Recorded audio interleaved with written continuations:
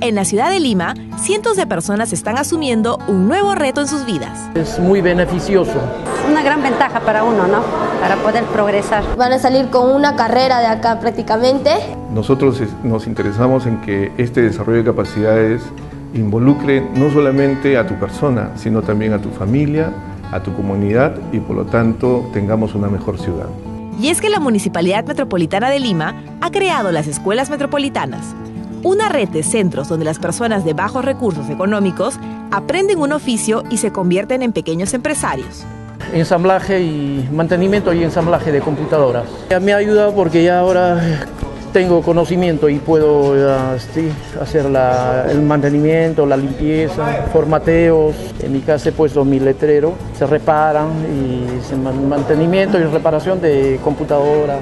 Y como yo soy ama de casa, pues vi la oportunidad de estudiar y poner algún negocito dentro de mi casa más que nada. Como ya he aprendido a agarrar la máquina recta y la remalladora, entonces lo que he ido es ir a Gamarra, compré tela por kilo y comencé a hacer pantalonetas. Recuperé el capital y algún porcentaje más que se presentó. La enseñanza acá es muy buena.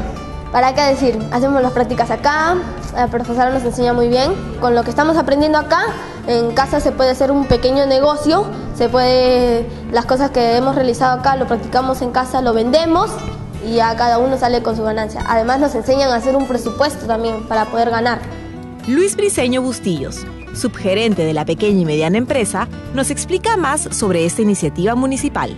Es un programa que inicia en julio del 2012 y que tiene como fin desarrollar programas de capacitación técnico-productiva, de gestión empresarial y de formación laboral.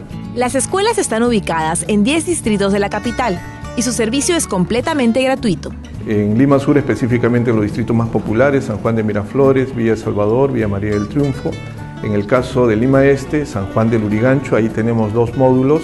Y en el caso de Ate, un módulo. Y en Lima Norte estamos en, en Caraballo, Los Olivos, San Martín, Puente Piedra y Ancón. En el presente año tenemos este programado 25 cursos de especialización que tienen una duración de 150 a 200 horas.